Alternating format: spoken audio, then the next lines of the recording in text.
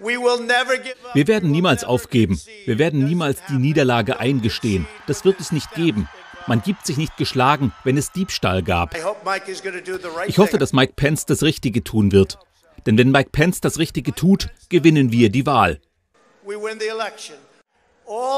Alles, was Vizepräsident Mike Pence tun muss, ist das Ganze an die Bundesstaaten zurückzugeben, um das Ergebnis erneut zu zertifizieren. Dann bleibe ich Präsident und ihr bleibt die glücklichsten Menschen.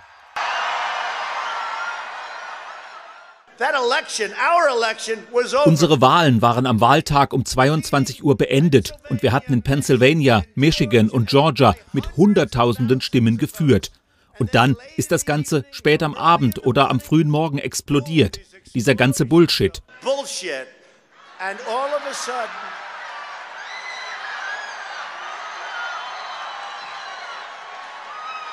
All of a sudden it started to happen.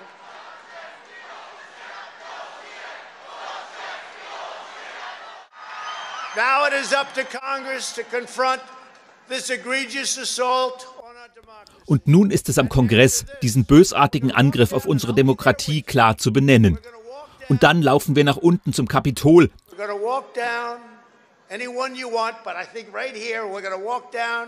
Und ich werde dabei sein.